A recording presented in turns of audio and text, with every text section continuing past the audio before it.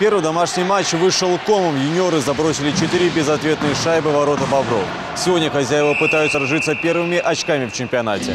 Стартовая 20-минутка не сулила ничего хорошего Бобруйску. Гости из столицы отличились три раза. Хозяева смогли отквитать лишь одну шайбу. На первый тайм-аут команды ушли при счете 1-3. Во втором периоде Бобры сумели переломить ход встречи. По разу отличились Павлов, Кирин, Рыжкович. У юниоров результативным действием отметился Середа. 4-4. Судьба трех очков решалась в третьем периоде. Где-то начали проигрывать, потом вывели игру в ровно.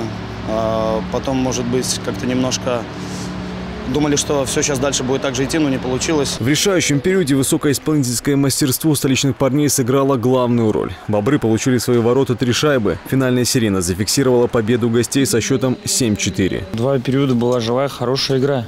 В третьем периоде немножко уже силенок не хватило на концентрацию, потому что отдавали шайбочку на пустых местах. То есть, ну, где-то вот именно сил не хватило на концентрацию в третьем периоде, чтобы контролировать шайбочку. Ну, а так, два периода хорошей игры, в третьем периоде подсели немножечко. В первую очередь хочу сказать болельщикам спасибо за то, что приходят нас поддерживать.